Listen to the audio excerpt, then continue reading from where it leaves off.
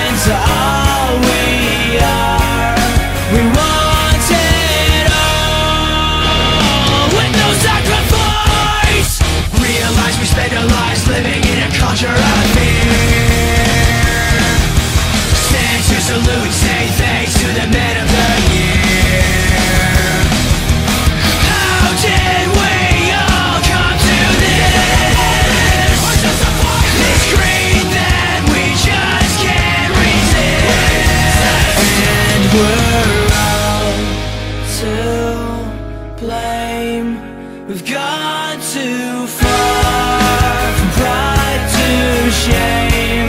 We're trying.